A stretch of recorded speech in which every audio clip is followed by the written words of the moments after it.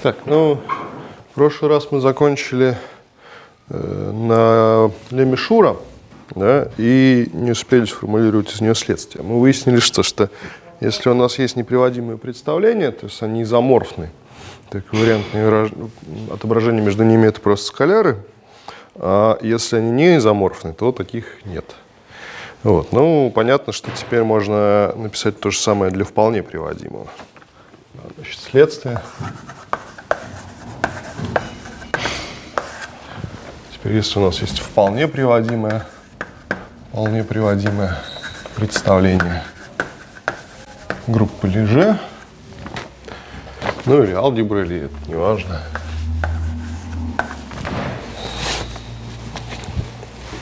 Тогда, ну, нужно написать y как сумму неприводимых,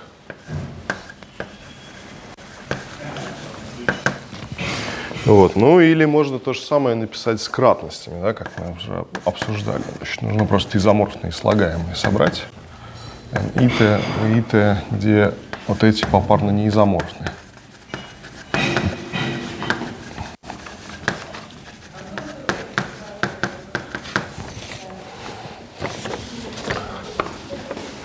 Вот.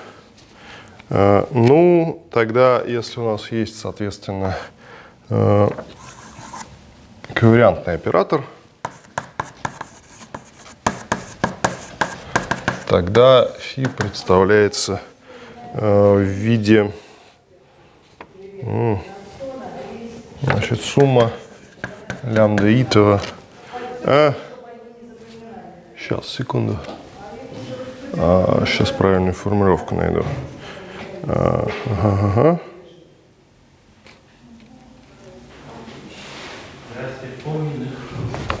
Ага. Что? Нет. Вот такая штука получается. Аита на тождественный новоитом. Где аиты, понятно, это эндоморфизм С. Вот, ну, значит, а, что нужно посмотреть? Ну, нужно сказать, что, во-первых, Сейчас я тут немножко поторопился, наверное. Ну, неважно. Значит, э, неважно. Э, окей. Значит, значит, доказательство.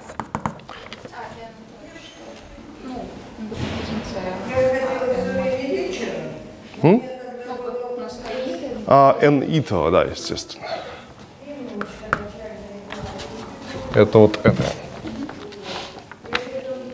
Да. Ну, окей, значит, V э, это что такое? Ну, смотрите, мы берем n копий векторного пространства. Но это то же самое, что э, значит, это то же самое, что c у n и тензорно на.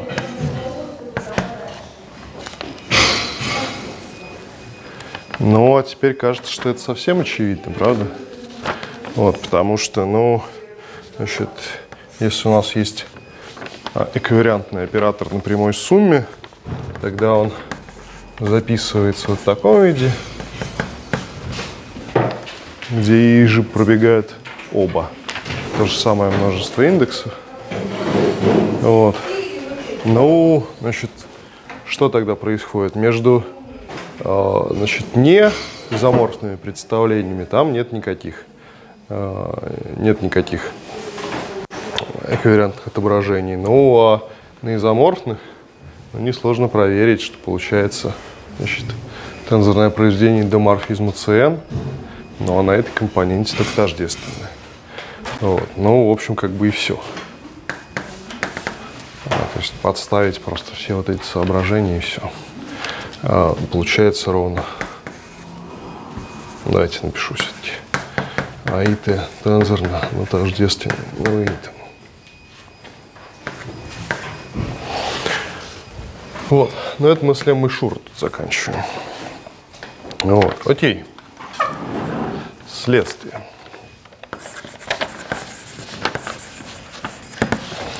Ну, следствие... Сейчас. У меня есть легкое ощущение, что мы это уже формулировали, но тем не менее. Если же Абелева...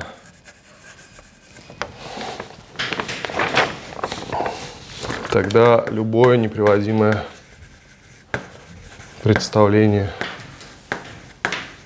одномерно. А, мы, наверное, в частном случае формулировали это там для R, например.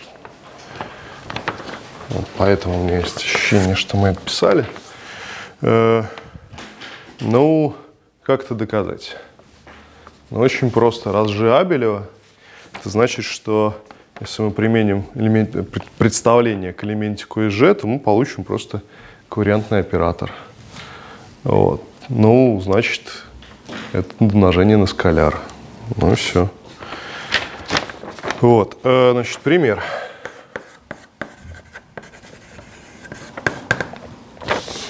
Ну, половинка примера у нас уже была, да, значит, если мы посмотрим на R как на группу Ли, тогда, э, значит, можно посмотреть на нее как на ее алгебру Ли, и тогда все неприводимые представления, представления G это что такое? Ну, они одномерны. Да, как устроено одномерное представление?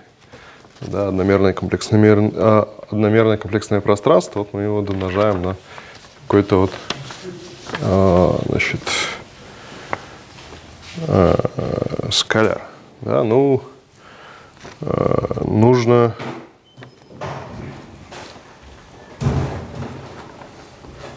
взять просто элементик отсюда, ну и перевести его в лямбда на а, где лямбда какое-то комплексное число фиксированное. Вот, соответственно, это все представления алгебры Ли.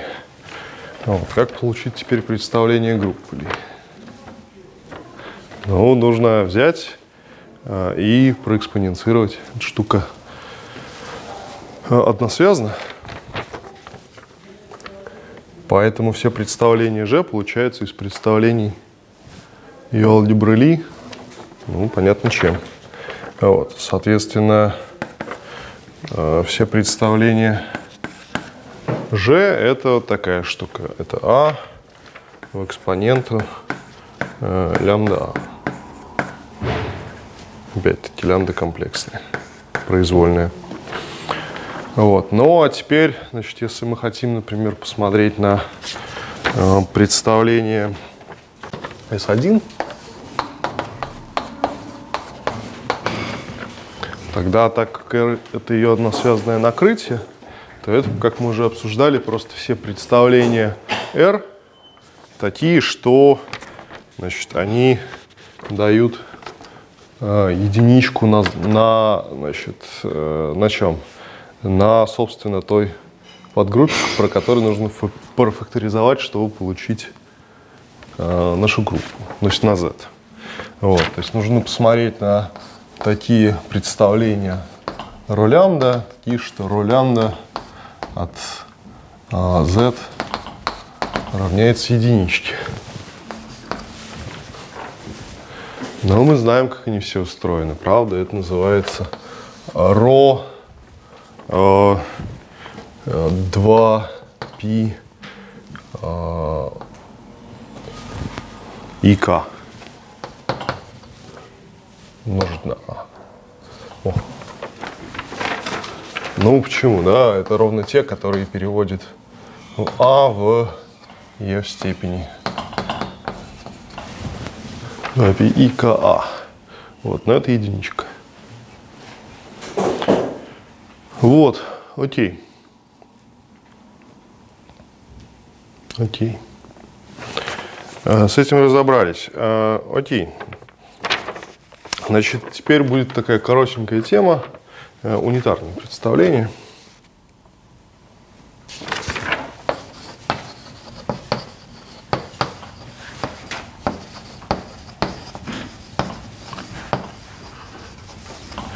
Ну, коротенькая она не в смысле, что там на самом деле мало материала. В смысле, что вот какой-то кусочек сейчас разберем, а потом будет длинное отступление, потом мы снова сюда вернемся. Вот, соответственно, если у нас есть вещественная группа Ли,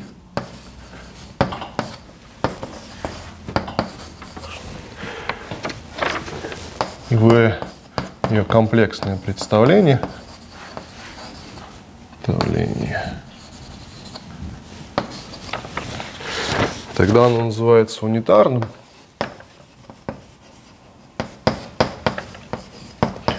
Если, ну, понятно, в каком случае, правда? Значит, какие мы операторы называем унитарными? Ну, те, которые сохраняют какую-то невырожденную линейную форму. Вот. А, значит, если существует положительно определенная э, эрмитова G эквивариантная форма.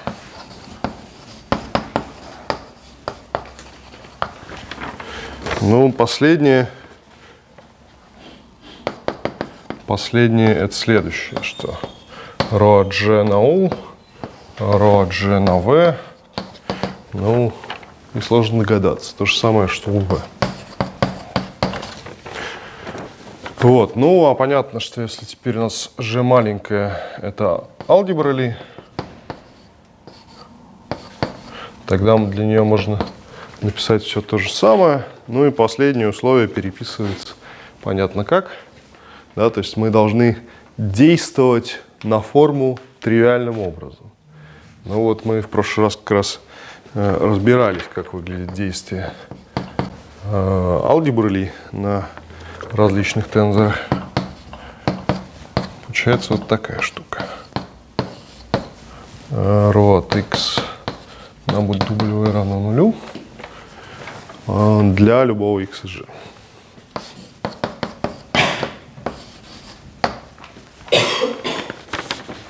Вот. Чем э, прекрасны унитарные представления? А, ну, давайте, несмотря на соображение экономии, я все-таки начну теорему с чистой доски. Может быть, ее что-нибудь допишем значит, чем прекрасны унитарные представления? Теорема. Так, ну, значит, условий, условий нет. Э, унитарные представления вполне приводимы.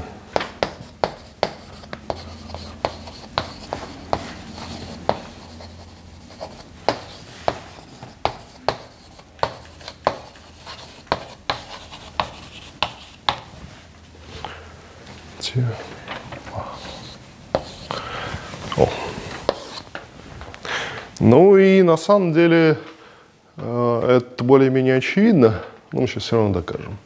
Вот. Э, игра будет не за то, чтобы доказать, что унитарные представления вполне приводимы, а за то, естественно, чтобы доказать, что какие-то интересующие нас представления унитарны. Да, ну и, в общем-то, все, наверное, уже знают, как это обычно делается. Это делается усреднением какой-то билинейной формы. Вот. Но вот для конечных групп мы сможем усреднить сходу, а для произвольной группы ли не очень понятно. Вот. Но вот, собственно, это наша такая суперцель на сегодня приблизиться максимально. Я думаю, что уж совсем все разобрать не успеем, но максимально приблизиться к тому, как понять, как э, значит, построить э, билинейную форму на представлении компактной группы. Вот. Но понятно, что если группа там не компактна, то в общем случае шансов особо нет. Вот. Но для компактной группы это можно сделать. вот. Ну, значит, давайте докажем теорему сначала. Доказательство. Индукция по размерности. Индукция по размерности. Вот.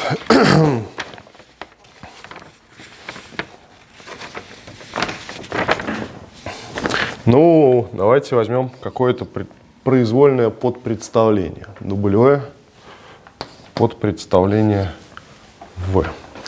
А, ну, нужно как-то что-то фиксировать, да, пусть, пусть В, унитарное представление, представление группы G. Вот. Значит, предположим, что оно приводимо. Ну, возьмем какое-то подпредставление. Ну, тогда можно посмотреть на ортогональное дополнение. Ну и понятно, что V это прямая сумма W и ортогонального дополнения. Значит, мы утверждаем, что тогда, ну понятно, для вполне приводимости нам достаточно показать, что э, любое подпредставление дополняется прямым слагаемым, которое тоже является подпредставлением. Ну окей, давайте докажем. Э, значит, что нам нужно доказать? Нам нужно доказать, что ортогональное дополнение к W инвариантно относительно G. Да? Вот. Э, простите, не G, а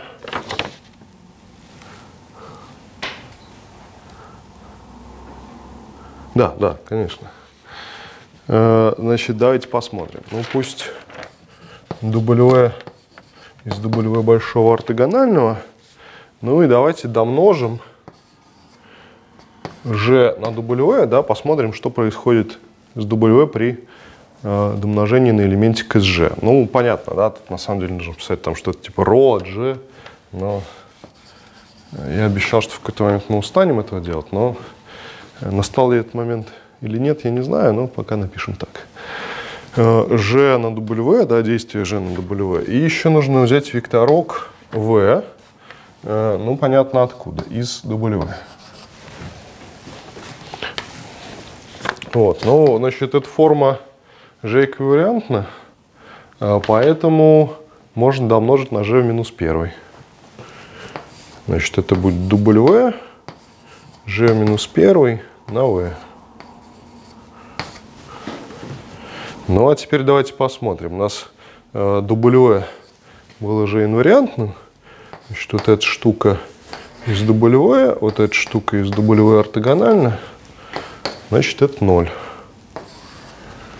Вот. Ну, отсюда следует, что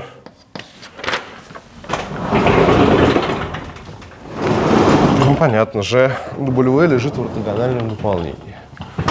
Поскольку V можно взять как произвольный вектор из W, но отсюда GW ортогонального дополнения W, ну и значит Значит, W является инвариантным пространством, ну и значит под представлением. Вот, все, доказали. Ну и теперь, соответственно, модельный пример. Модельный пример. Теорема, если же конечная группа,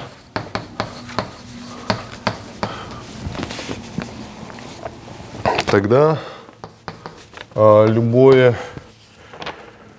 представление. Ну да, я так немножко залезаю, но просто хочу на одну доску поместить. Значит, любое представление же унитарно.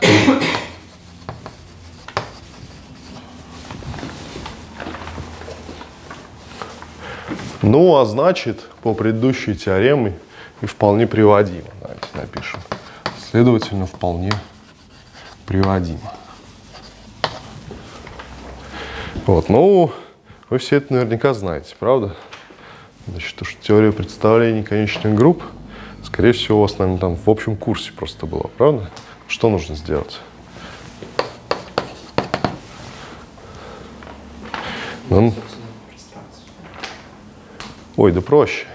А, ну, нужно просто посмотреть на какое-то представление. Значит, пусть это значит, какое-то представление. А, Значит, просто представление G. Э, представление G. Ну и там есть какая-то положительно определенная форма. Ну, уж как-нибудь на n степени комплексных чисел найдем, правда? Вот, значит, как векторное пространство, это просто Cn. Ну, значит, там есть положительно определенная билинейная а, ну не билинейная, а эрмитова форма. Да? Эрмитова форма. Вот. А, ну а что теперь с ней нужно сделать? М? Усреднить, совершенно верно. Это такая штука. Давайте назовем это B. B с волной от UV. Ну, нужно просто взять, поприменять все элементики G к U и V. Вот, то есть сумма по G из G, а B от G а U G W. Да, правильно я букву пишу, вроде правильный. Вот, ну чего-то не хватает. Ну да.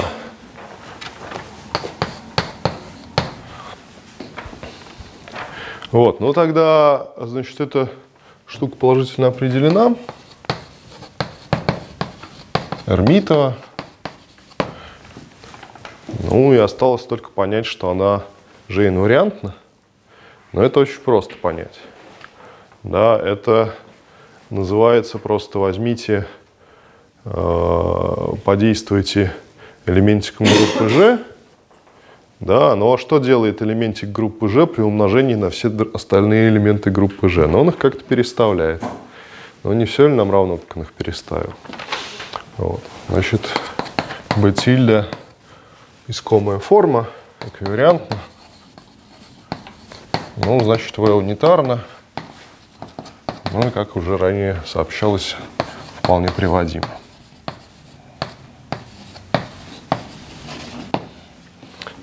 Вот, ну а теперь, э, значит, анонс, да, анонс, что мы хотим сделать. Теперь мы хотим то же самое сделать для компактной группы. Вот. Для этого нам нужно, смотрите, здесь у нас по конечному множеству мы берем сумму, по бесконечному, значит, нужно взять интеграл. Значит, нам нужна какая-то мера, при этом так, чтобы она еще там была инвариантна относительно действия группы, э, ну, хотя бы с одной стороны, но на самом деле это не важно, с какой стороны. Вот. Ну и научиться по ней интегрировать корректным образом –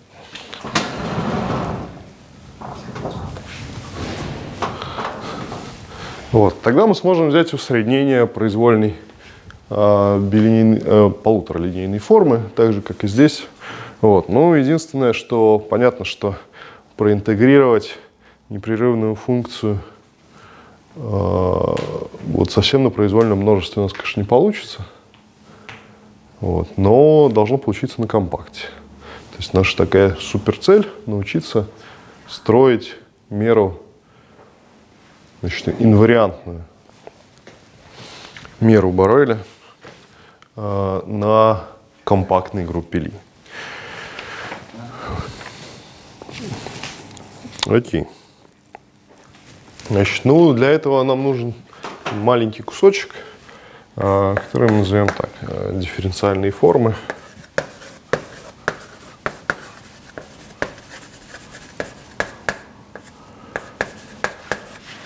формы на группах Ли и ориентация.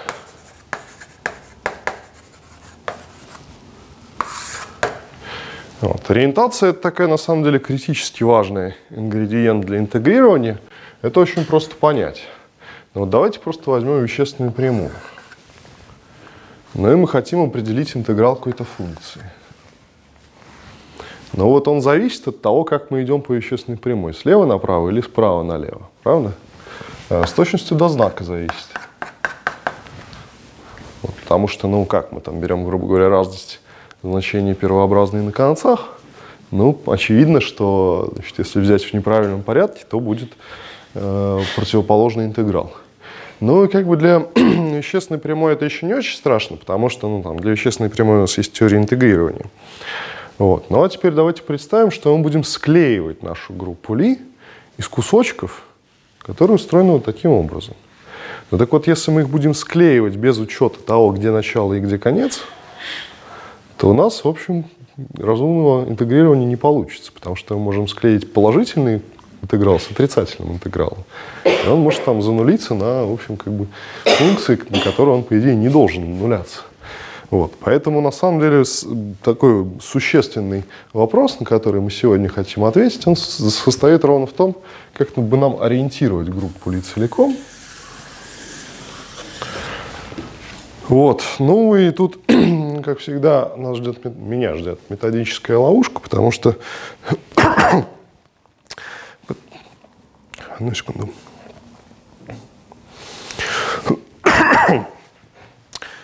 Так. Главное не остаться без голоса. Да, значит, методическая ловушка, потому что, строго говоря, я тут залезаю в чужой монастырь, я собираюсь перерассказать какой-то кусочек дифференциалки очередной раз. Вот. Но, с одной стороны, я буду рассказывать его гораздо проще, чем э, гораздо проще, чем его принято рассказывать, потому что ну, там общая теория К-форм на Значит, гладких многообразиях довольно сложная штука. Мы будем смотреть только на какой-то маленький кусочек, который нам нужен. А с другой стороны, в общем, если так окажется, что, в общем, кто-то будет разбирать этот курс, там не обязательно вы, а, скажем, ваши коллеги э, будут разбирать этот кусочек э, без предварительных каких-то серьезных знаний дифференциалки, то у них может возникнуть содержательная проблема, потому что если вы откроете любую книжку, где это написано аккуратно для гладких многообразий, то, в общем, тот кусочек, который я собираюсь сейчас впихнуть в час, занимает там ну, порядка 100 страниц.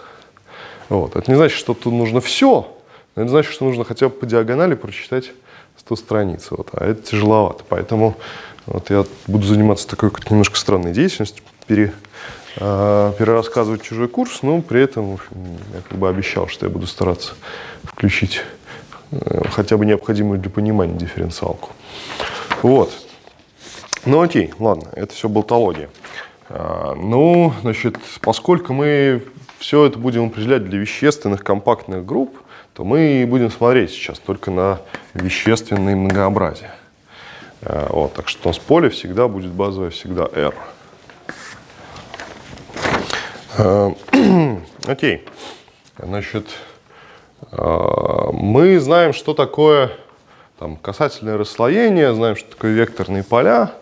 Ну вот понятно, что можно то же самое определить для кокасательного расслоения. Можно посмотреть на а, значит, гладко зависящие от точки линейные функционалы в поле. Да? Вот. А, значит, омега гладкое сечение касательного расслоения. Гладкое сечение. Называется один формой на m. Ну, я, как всегда, тут забываю какие-то водные. m – это гладкое многообразие. m – это c бесконечно гладкое вещественное многообразие. Вот. Ну, значит, э, как вообще естественным образом э, можно вытянуть азинформы из того, что мы уже знаем? Ну, пример. Если у нас есть векторное поле, гладкое,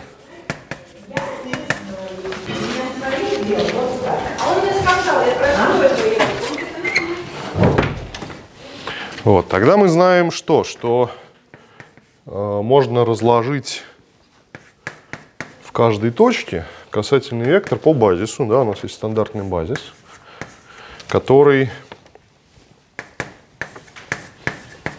получает из картирующих отображений.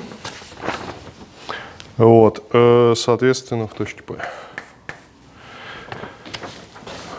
Окей. Значит, э, тогда аиты ну, что это такое? Это, во-первых, э, линейное отображение. Линейное отображение. ну, откуда? Э, из э, касательного пространства. Ой.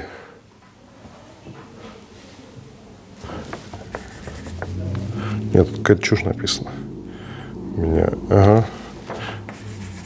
В точке P у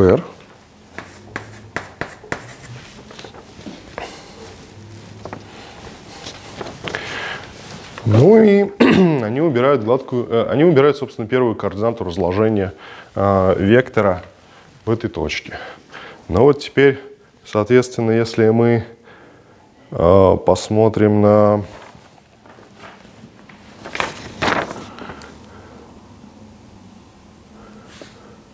Да, ну и теперь, соответственно, в каждой точке мы можем определить э, в каждой точке мы можем определить вот такое вот линейное отображение, которое э, элементы касательного пространства отображает в первую координату при разложении по базису. Значит, в А и Т. Вот. Это будет примером один формы.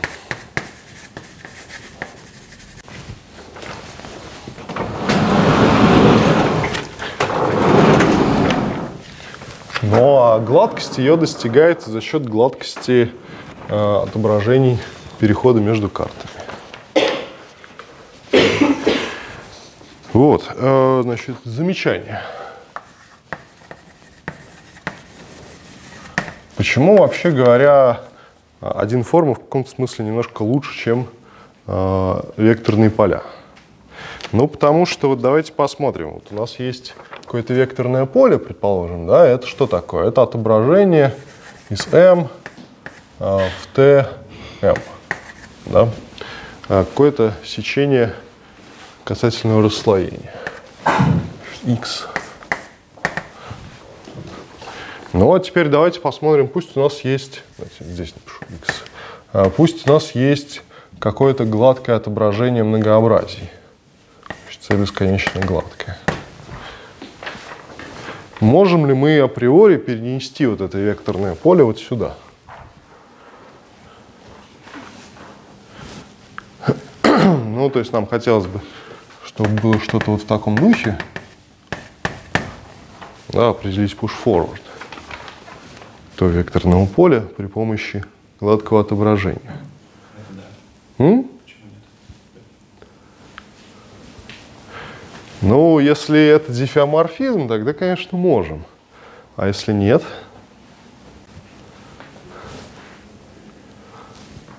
Сейчас. Ну, смотрите, здесь мы каждой точечке сопоставляем касательные векторы. А давайте теперь представим, что это отображение не инъективно. А, в смысле, что оно... Если оно не инъективно, тогда мы какой-то точечке должны сопоставить два касательных вектора, и непонятно, какой из них. Если выбирать произвольный, то потеряется гладкость. Но, кроме того, кто же вам сказал, что оно сюрреактивно?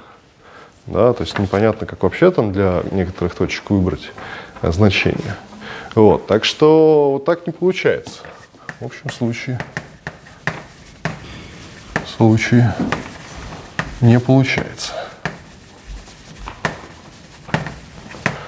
Вот. А для один форм получается.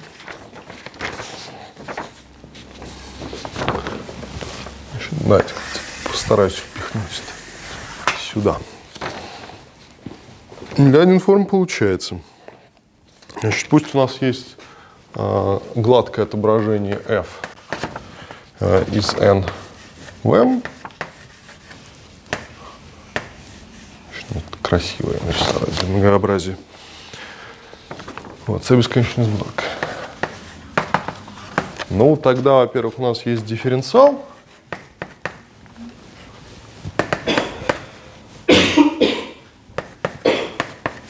Из касательного пространства в n в касательное пространство к m. А во-вторых, можно взять двойственное к нему отображение. Значит, можно взять дифференциал со звездочкой. О, ну я тут неправильно писал. F, естественно, от P. Вот, соответственно, из касательного пространства в точке F от P двойственного к нему, да, ну, давайте вот здесь просто звездочку поставим. Вот двойственное пространство, значит, касательное пространство в точке P в N. Ну и теперь, если у нас есть некоторая один форма, на m.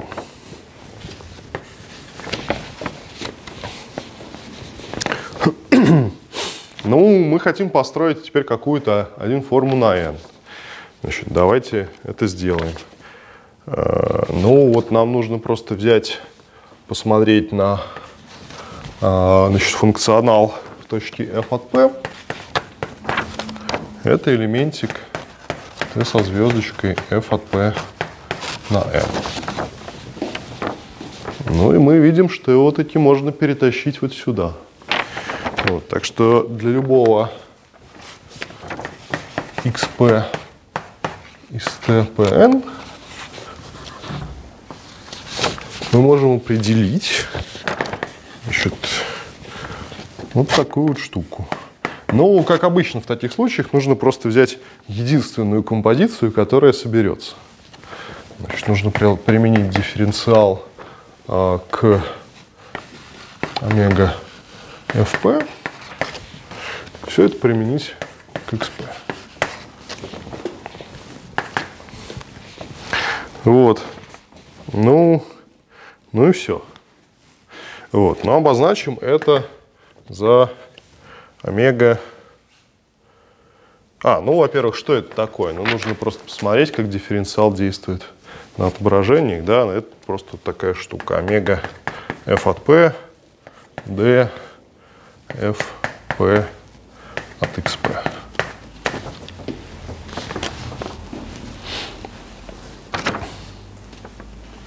Ну, просто аккуратно расписать, э, что значит двойственное отображение. Вот, получается, что нужно просто применить омега к вектору, перетянутому дифференциалом. Вот, соответственно, вот это все дело можно назвать э, f со звездочкой омега точки p. Ну и тогда у нас есть корректно определенная форма f со звездочкой омега. Один форма на n.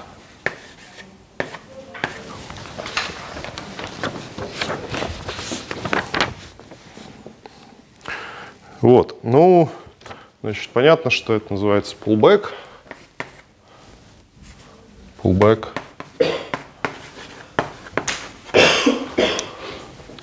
Вот. Но у меня не влезает картинка, ну понятно, что это такой pullback в обычном смысле. Что диаграммку нарисовать. Вот, э, значит, pullback, омега, ну как по-русски говорят, вдоль, видимо, вдоль, F. Или посредством F, это уже э, лингвистические вопросы. Вот, ну и э, вопрос, а почему получается такая несправедливость? Почему вот векторные поля а нельзя перетаскивать отображениями, а ковекторные поля можно перетаскивать отображениями. Но это на самом деле несправедливость гораздо более общего свойства, а именно, что для любой точки области определения функции вы задаете единственное значение, но обратное неверно. В области значений может у прообраза не существовать вообще, а может быть больше, чем один. Но вот это ровно вот эта разница в этом, ни в чем ином. Окей. Так, ну нужно что-то стирать. Вот. Понятно, что на самом деле зачем нам ограничиваться один формами. Можно посмотреть на формы старшей степени.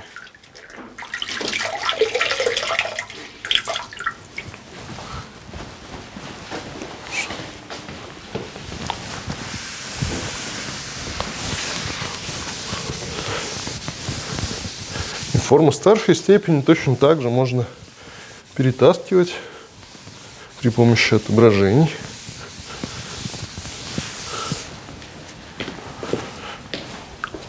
Ну что, можно вот это, наверное, тоже стереть сразу.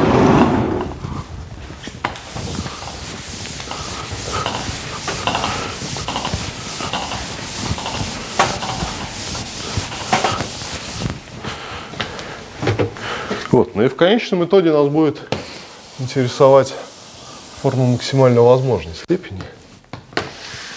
И она будет аналогом объема на n-мерном многообразии.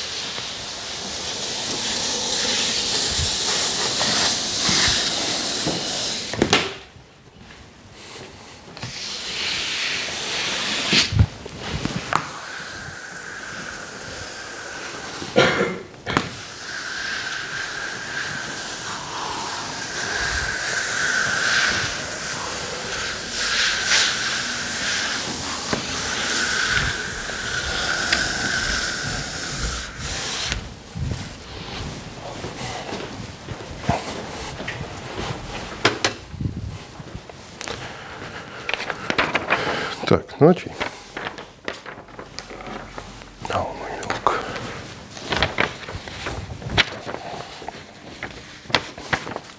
Вот. Ну, давайте посмотрим просто на внешнюю степень а, касательного пространства в точке M. Вот. Ну, что это такое? Это пространство знака переменных линейных отображений э, к этой степени, правда? Значит, элементик отсюда. Значит, не хотелось бы обозначение сбить. Давайте буду сверяться. Назовем его f. Это что такое на самом деле? Это линейное отображение из э, значит, раз нашего векторного пространства касательного VR, ну такое, что оно знак переменно. Такое, что f от v сигма от единицы v, v сигма n равняется знак перестановки, знак перестановки сигма на f v1 vn.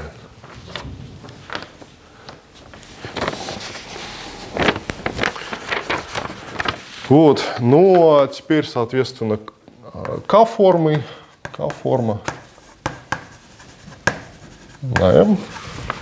Это есть не что иное, как гладкое отображение точки в, ну, собственно, вот в такую штуку. В омега П из лямбда в катой ТП звездочкой. Из внешней степени, катой внешней степени. Вот. Ну, что мы сразу можем заметить? Ну, во-первых, естественно, это определение при карном единичке совпадает с определением один формы. Э, во-вторых, ежели мы, ежели мы берем, сейчас, подождите, подумаю, не забегаю ли я вперед. Э, да, ну ладно, давайте чуть, чуть позже скажу про, э, значит, wedge product, как по-русски. Клидовое произведение, внешнее произведение, внешнее произведение, э, соответственно, К-форм, да, то есть мы можем взять К-форму, L-форму и получить К плюс L-форму. Вот, то есть на самом деле все К-формы, они склеиваются из э, один форм в каком-то смысле. Вот, э, окей. Значит, ну, первое, что хочется сказать, это то, что понятно, что если у нас есть какое-то гладкое отображение, то можно посмотреть на его локальные координаты. Давайте возьмем карту.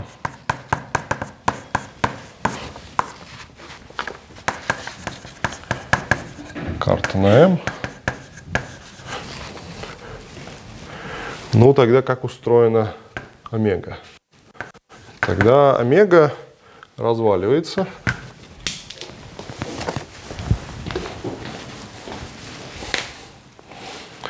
разваливается по базису.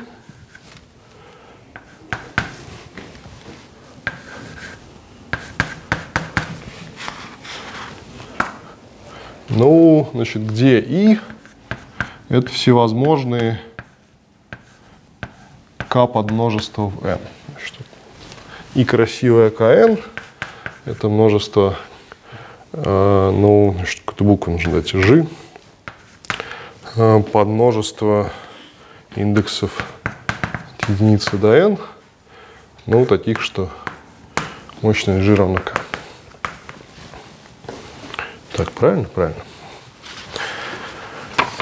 Вот. Эм, значит, аиты, естественно, должны быть гладкими. Гладкие функции. No. Вот. А что такое dx Ну, значит, если мы положим dit, то d по dx базис касательного пространства, ну, тогда нужно задать dx на базисе. Но на самом деле понятно, как это сделать. Значит, можно сделать кучу разных способов. А, можно просто взять там внешнее произведение э, d такого же рода значит, одномерных, да, это мы уже видели, значит, что это такое. Это выбор первой координаты. Вот. Но можно явно задать на базисе. Давайте, дельта 1, дельта n.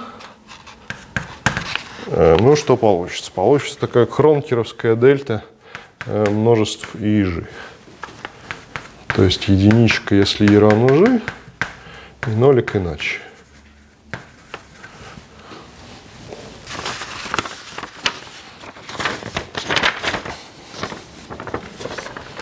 Вот, ну, значит, предложение, предложение. Ежели у нас есть карта, мы смотрим на какие-то гладкие отображения, гладкие отображения, а, гладкие, чего ж там, функции, гладкие функции на У.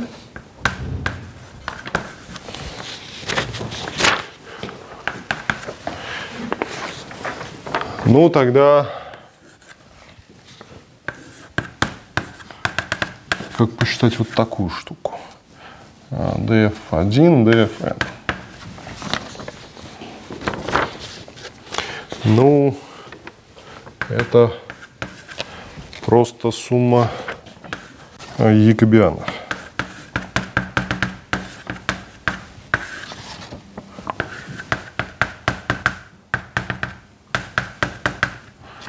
Каты по и опять-таки всевозможным k под множеством, множестве от единички до n. Ну и все это на базисный элемент, на dx и 1, dx и кат. Вот, ну тут нужно что-то что-то сообщить, да. Значит, ну, естественно, dx и t это базис дуальный, собственно, да, ну вот просто в частном случае, дуальный базис к нашему стандартному базису. Вот, э, значит, теперь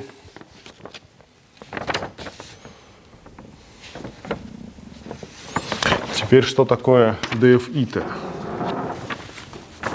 Да, ну вот это, собственно, утверждение. Точку поставлю.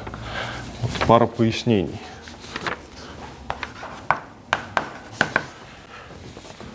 У нас есть отображение из U of R, F и T, да?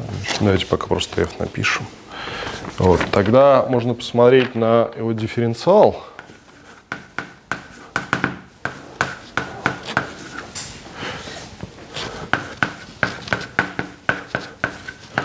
Вот, ну это то же самое, что э, и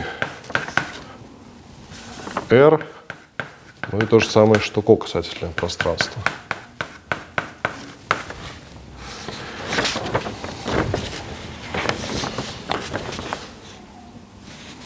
Вот, таким образом, что мы понимаем под DPF? Значит, это что?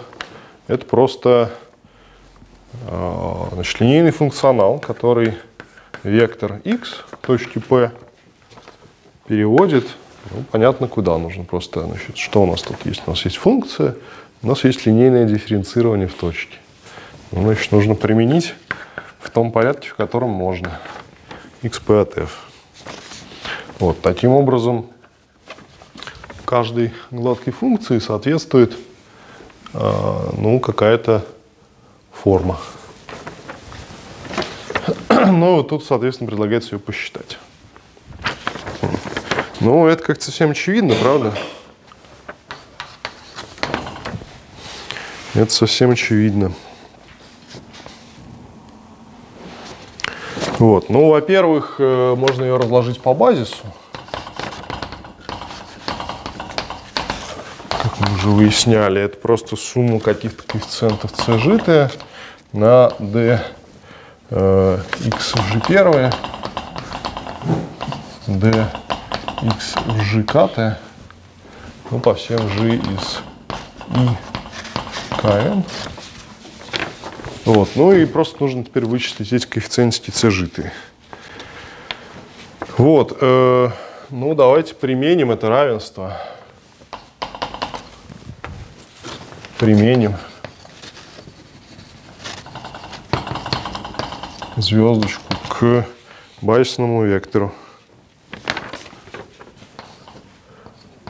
Дельта И1, дельта ИК.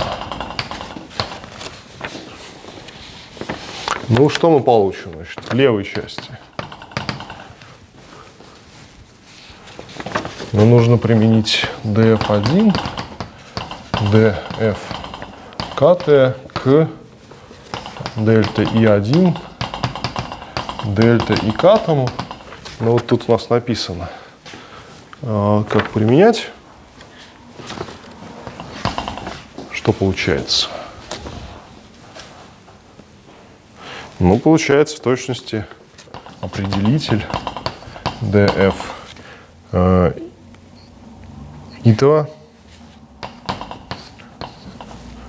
по dx и, ж, и житым, да? Сейчас индексы. Ага.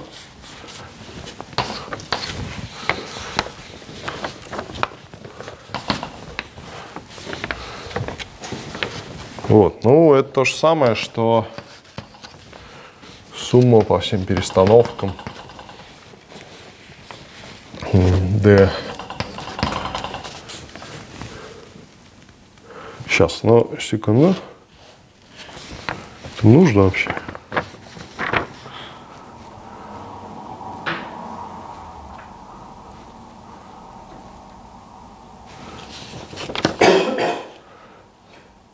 Ну, тут у меня так кривенько написано, сейчас мы поймем, что имеется в виду.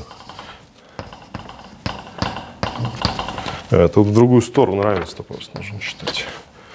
df1, d по d x и сигма от единицы.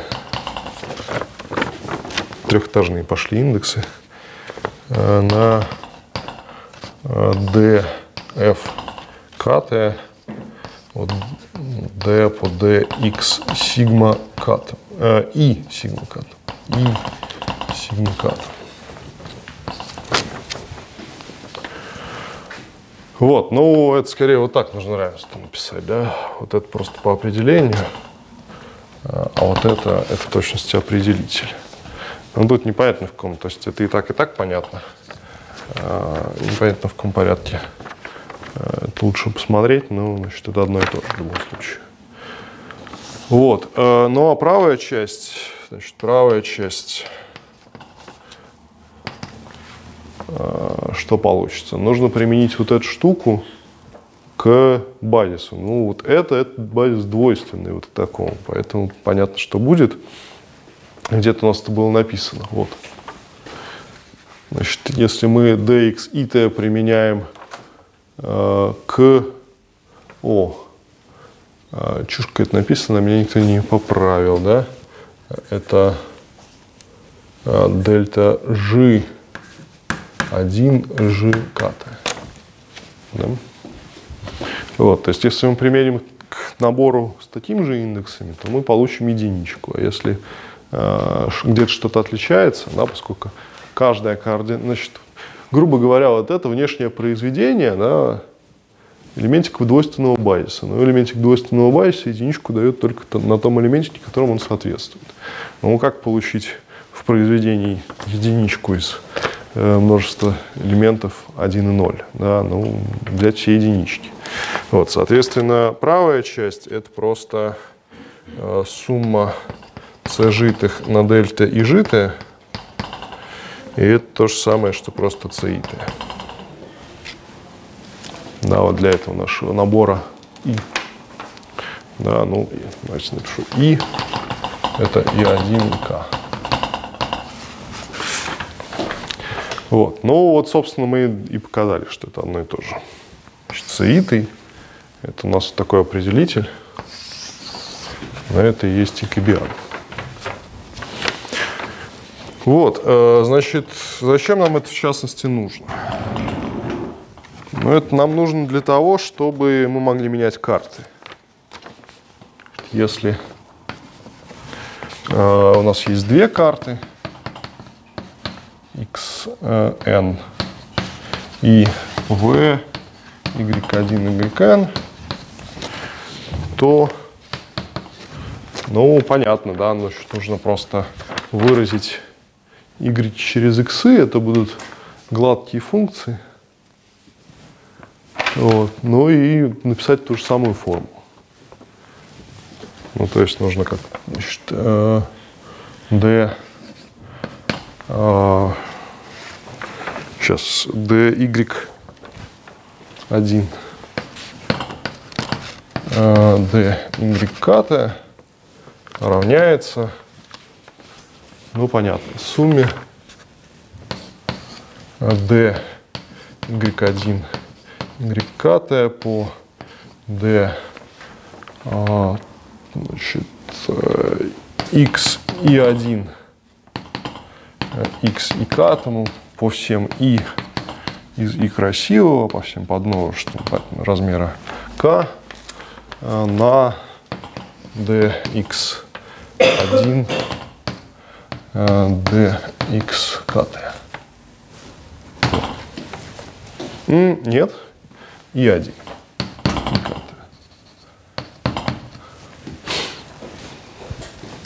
То есть теперь мы знаем, как выглядит формула замены базиса.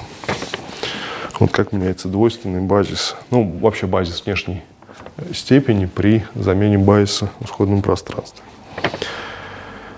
Окей, значит, э, ну, нас будут на самом деле интересовать част, два частных случая. Значит, первый частный случай это один форма. А второй частный случай, который нас на самом деле даже больше интересует, это n форма. Наивысшей возможной степени.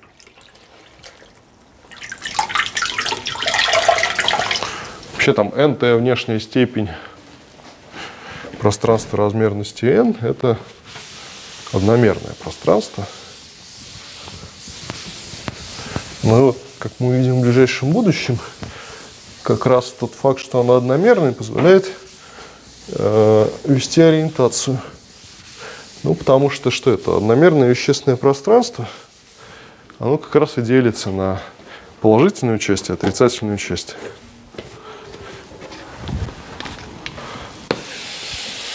Вот если мы теперь сможем задать на всем пространстве э, n-форму, которая нигде не обращается в ноль и непрерывно,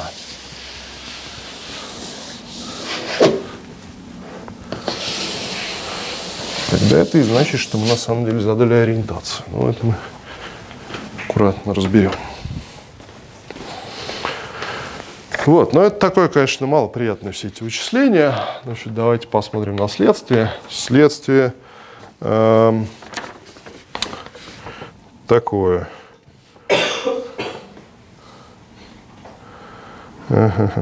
Хорошо, да.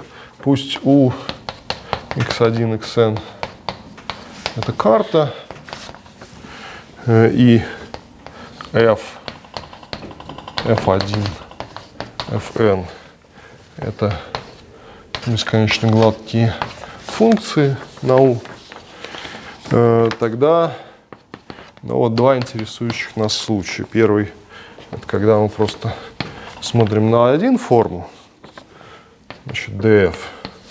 Это просто значит, по нашему, э, по нашей, как это называется, теорема, лемма, предложение. Предложение просто вот такая штука, df по dx на dx Ну, где-то мы это уже видели, правда? Вот, это такое обычное разложение дифференциала по двойственному базису. То есть в данном случае значит, мы ничего нового не получили, но, по крайней мере, оно согласуется со всем старым. Вот. А если взять, соответственно, форму старшей степени, э, dfnt, ну, давайте посмотрим, сколько слагаемых будет формулы. Сколько бывает n-элементных подмножеств в n-элементном множестве? Ну, одно. Вот, значит, получится одно слагаемое, это просто определитель в данном случае, да, ну, э, определитель dfn по dx dfgt по dx итому ну, на байесный элемент. На байес n степени внешней. Он там один. Вот.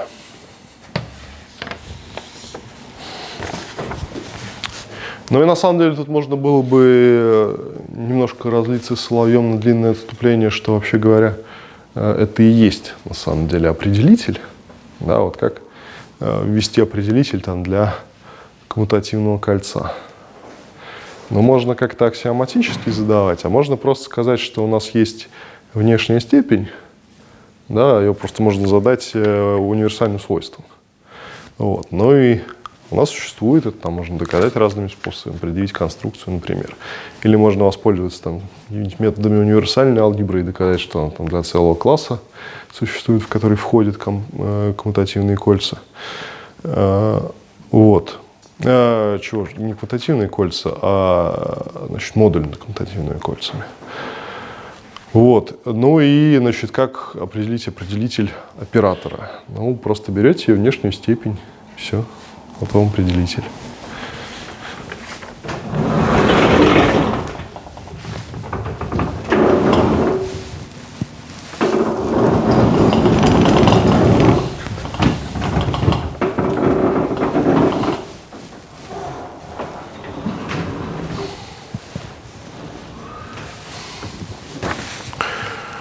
Окей.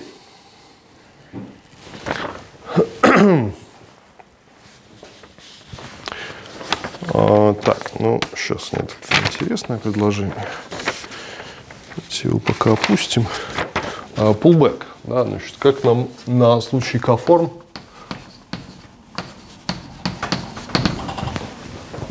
да, определить pullback. Ну, тут тоже та же самая история. Нужно просто очень аккуратненько посмотреть, какую композицию можно взять. Э, как и всегда в подобных делах, э, неправильная просто не возьмется, не построится. Значит, давайте посмотрим на гладкое отображение.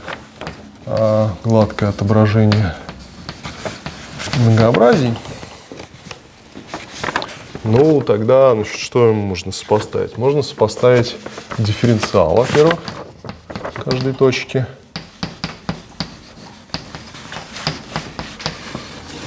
Можно сопоставить отображение двойственное к дифференциалу. Так, тут я опять пишу ту же самую глупость, f от p.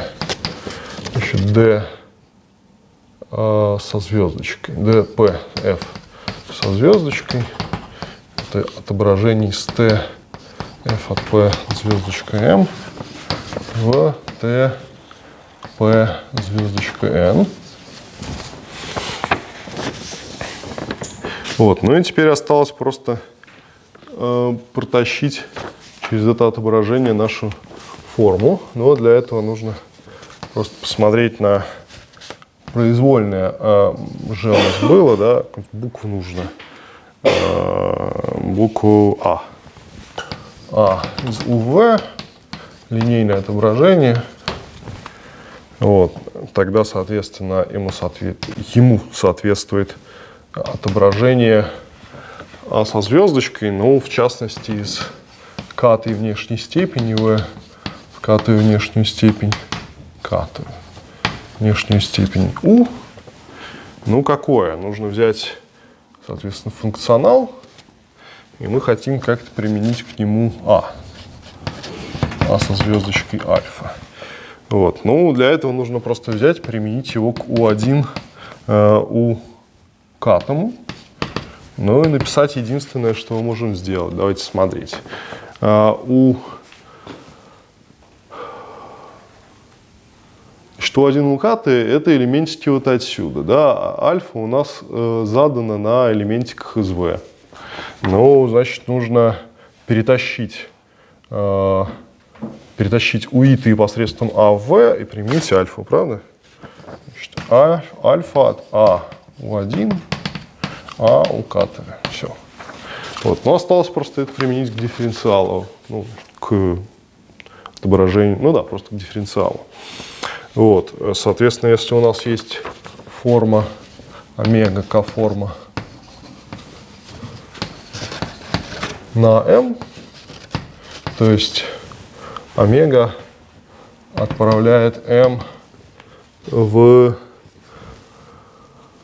значит, в лямбда кт а, т. Сейчас нужно понять, да? Э, давайте так напишем. Про точку P в омега P из ТП со звездочкой а, лямбда кат. Да? К-форма. Внешняя степень, кат внешняя степень а, касательного пространства. Вот, ну теперь мы хотим сделать из этого такую же штуку на n.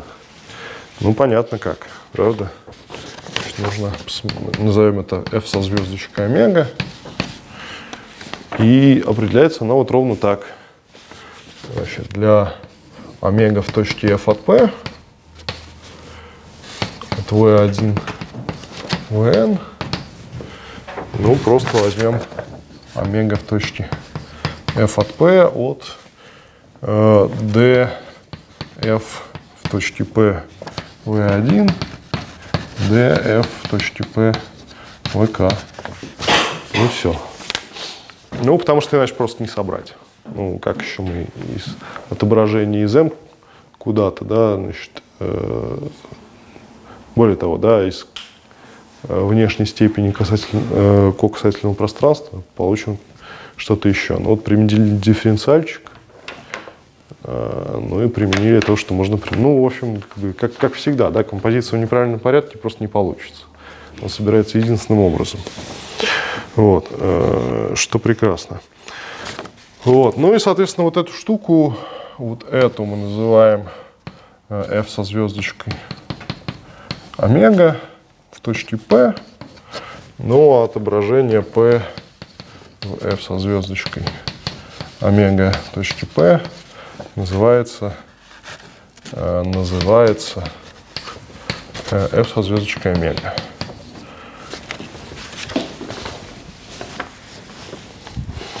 Вот, ну, опять-таки, когда смотришь вот на какую-то формулу на доске э, написанную, то кажется, что это как-то все страшно. На самом деле, ну, тут действительно нужно просто записать все отображения, которые у нас есть, и понять, что они складываются в композицию, ну, ровно одним разумным способом. Вот. Э, замечание. Поместится? Боюсь, что не поместится. Идем, придется что-то стирать.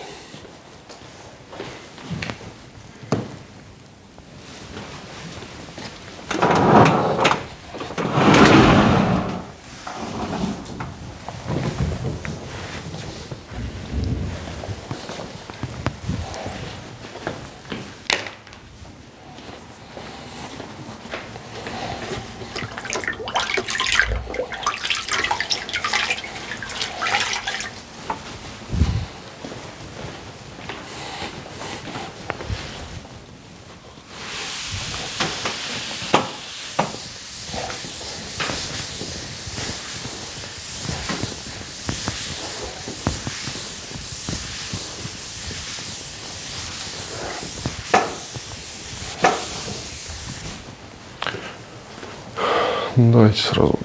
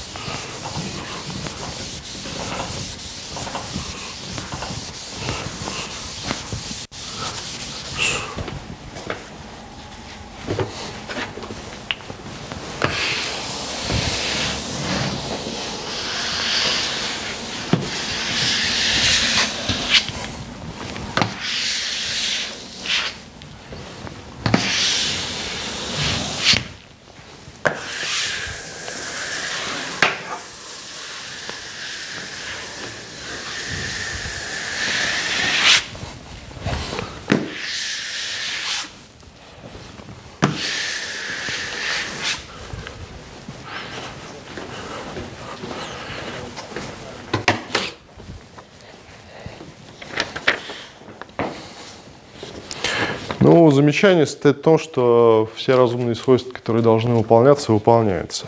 Значит, замечание. Во-первых, если вы возьмете бесконечно гладкие... О, нет, значит, все-таки нужно, простите, сначала а, ввести одно маленькое определение перед замечанием. Значит, э, ежели у нас есть просто э, знак переменная форма степени k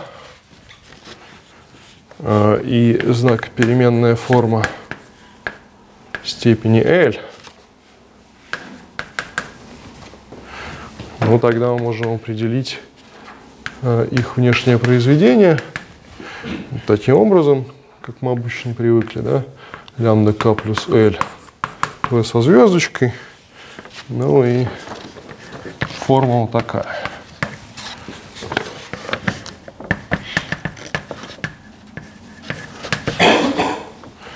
Ну, грубо говоря, нужно просто перемножить тензорно, а потом взять симметризацию тензора. А, не симметризацию, а как, как называется аналог симметризации для антисимметричной. Антисимметризация. Значит, сумма по всем перестановкам э, SK плюс L.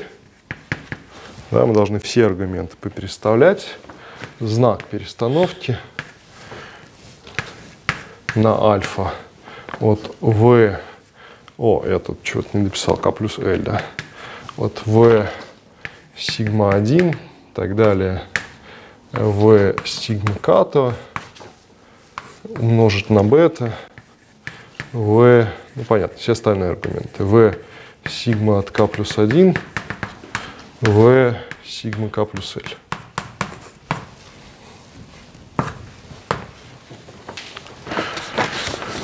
Вот. Ну и, соответственно, замечание, которое я пытался написать, замечание такое, что, во-первых, если у нас есть альфа и бета гладкие, ну, тогда их а, значит, внешнее произведение тоже гладкое. Гладкое, той же степени гладкости. Э, и раз.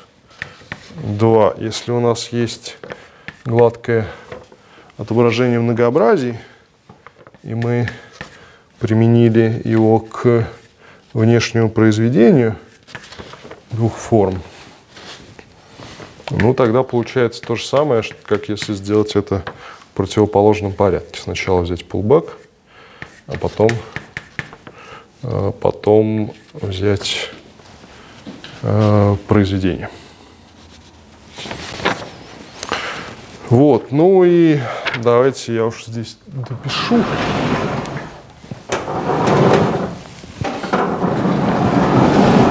Напишу.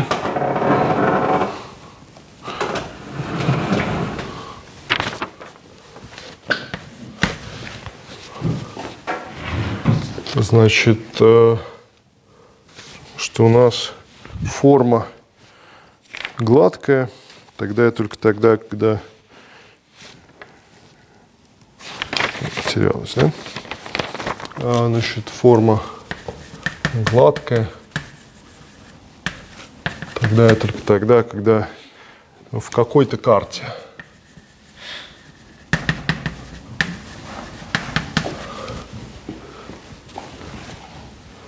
карте а, ее координатной функции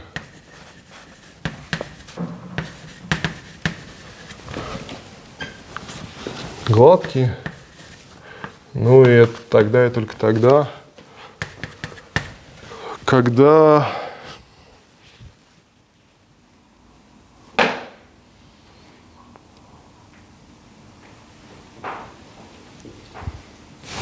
когда для любого векторного поля x гладкое векторное поле, понятно, что мы можем применить дифференциальную форму к векторному полю, правда? В каждой точке мы получаем касательный вектор, касательный вектор э, отправляем сейчас а для формы, для кат формы Нет, надо, надо взять k-вектор, k гладких векторных полей, x1, xk. А, потому что, ну, иначе как мы применим эту форму к, там, к аргументов нужно. Вот, значит, для, любого глад, для любых гладких векторных полей x1, xk омега от x1, xk это гладкая, гладкая функция.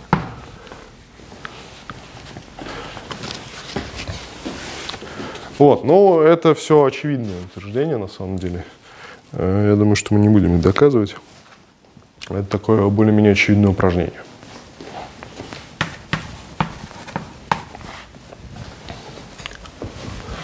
Окей.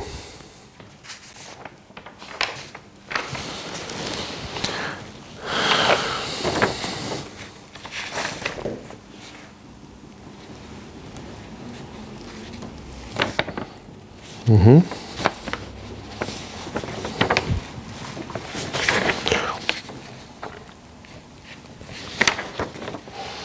Ну вот, значит, параграф, маленький параграф, э, инвариантные формы, инвариантные формы на группе Ли. Ну вот мы знаем, что все инвариантные векторные поля на группе Ли, они значит, задаются своим значением в единичке и являются гладкими. Да, вот, как только она инвариантная, она сразу гладкая. Вот. Э, соответственно, абсолютно то же самое верно для э, К-форм. Пусть GSG, тогда мы можем посмотреть на э, значит, левые трансляции при помощи элементика G. И если мы теперь возьмем К-форму омега на тогда можем сказать, что он является э, значит, левой инвариантной, да, омега левой инвариантная, если, ну, понятно, что нужно э, посмотреть на pullback при помощи LG, ну, если это то же самое, то левая инвариантная. Если LG со звездочкой от омега э, равняется омега для любого g из g.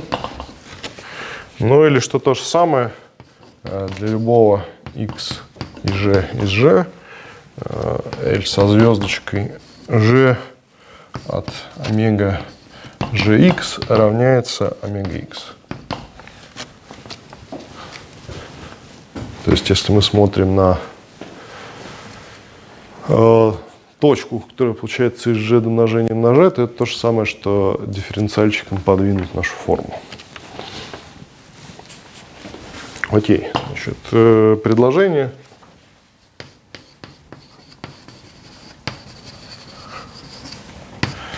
Предложение э, левоинвариантные, левоинвариантные К-формы – ножи автоматически гладкие.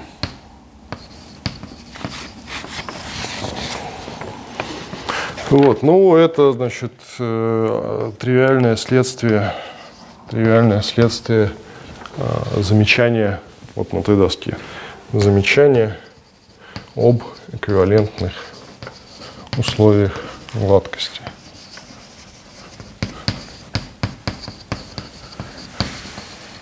маленькое прямое вычисление, которое значит, проще всего провести для векторных полей.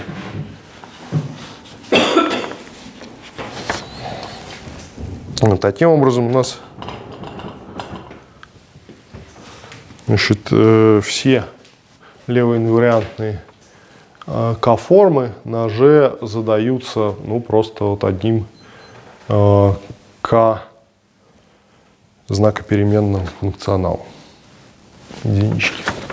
Вот. Ну и то же самое для правой инвариантной. То же самое для правой инвариантной формы.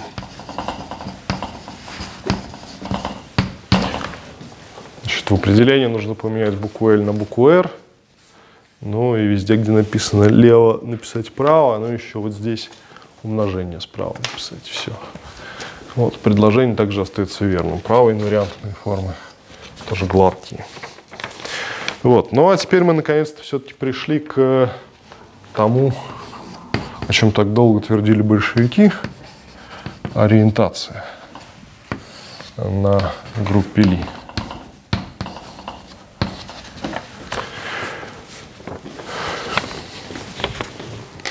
Вот, ну, если мы просто посмотрим на векторное пространство, векторное пространство, а, тогда несложно понять, как задать на нем ориентацию. Нужно просто взять посмотреть на все возможные базисы V и ввести следующее отношение эквивалентности. Значит, один базис эквивалентен другому. Я пишу в скобочках, потому что я смотрю на упорядоченные базисы. А, значит, тогда и только тогда по определению. Но когда матрица перехода имеет положительный определитель. А, больше нуля строго.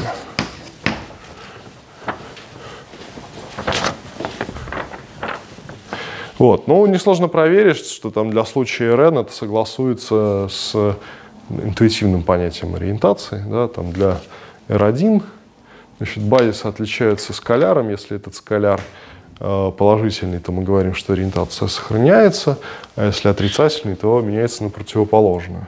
Там в R2 да, у нас э, задается ориентация направлением поворота от первого вектора в базисе ко второму, ну и вот если вы внимательно посмотрите, то определитель... Сейчас ну, какой-то глупый вопрос, но как это согласуется с тем определением, что в каждой точке ставим является? Что? Как это согласуется с тем определением, что в каждой точке ставим 0 или... А, это на самом деле не базисы, это базисы типа ТМ, а не ТПМ. Это гладкий базис ТМ. Сейчас, подождите. Пока что это просто базис векторного пространства. Мы... Ну да, его ТМ. ТПМ, да. Но... ТТМ просто, или ТПМ? Нет, ТПМ. Вы хотите сказать, вы, вы чуть-чуть забегаете вперед, вы хотите сказать, как это аккуратно склеить на многообразие. Это просто пока векторное пространство, мы еще не дошли до склейки. Я, я не знаю, что такое ориентация на векторном пространстве, я знаю, что такое ориентация на многообразие, что значит, в каждой точке ставим э, типа число. Да. Но вот сейчас мы поймем, что одно из другого вытекает. Да, вы забегаете вперед просто. Вот. Это какое тогда определение ориентации? А, вот это определение. Это определение, да. Значит, э, ориентация — это выбор класса эквивалентности. Понятно, что таких классов эквивалентности ровно два. Значит, ориентация V — это выбор класса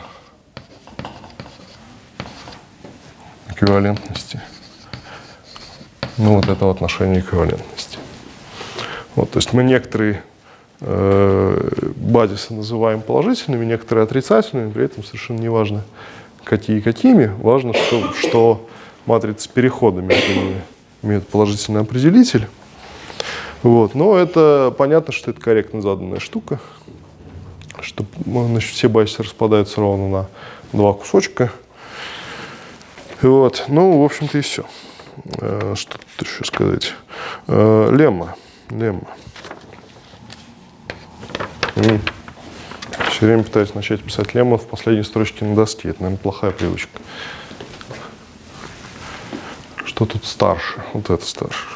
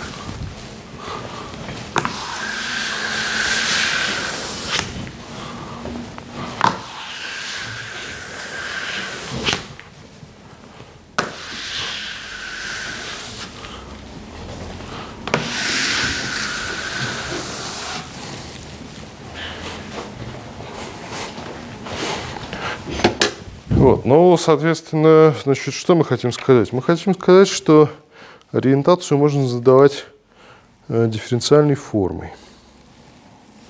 Так, я потерял нужный листочек, да? Да. Шлема.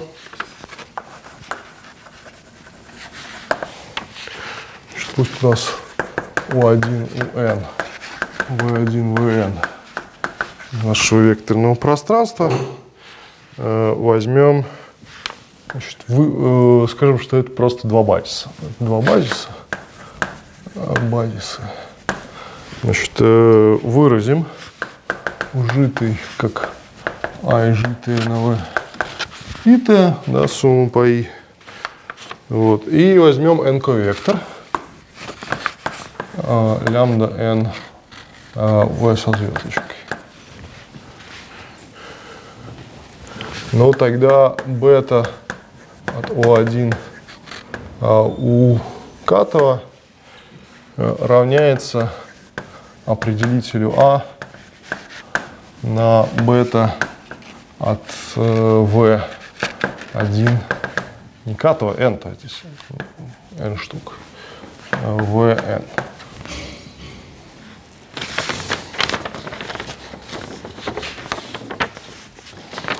Вот, э, ну, значит, мы это уже где-то видели.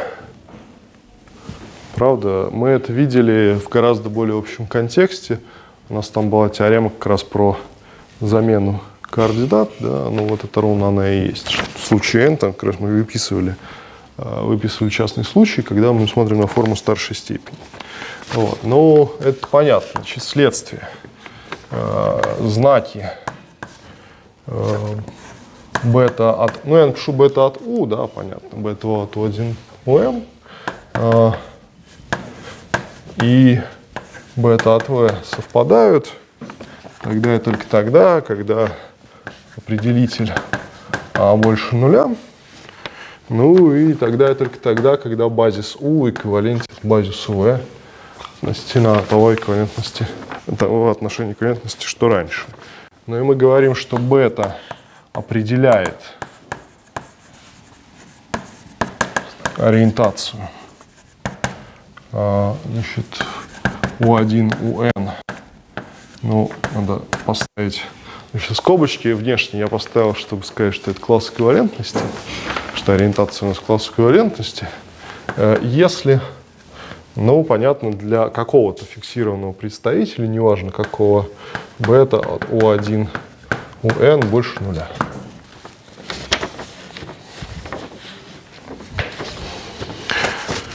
Вот. Э, ну, пример э, очень простой. Давайте возьмем R2.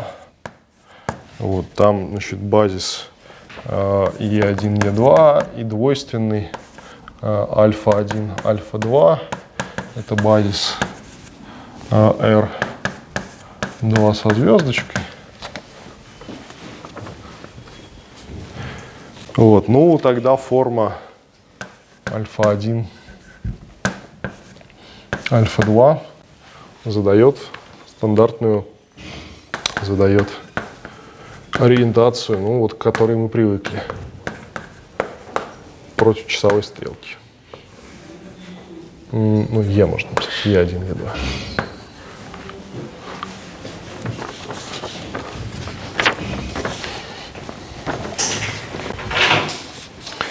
А, ну, нужно просто вычислить значение, и все, и ровно это и получите.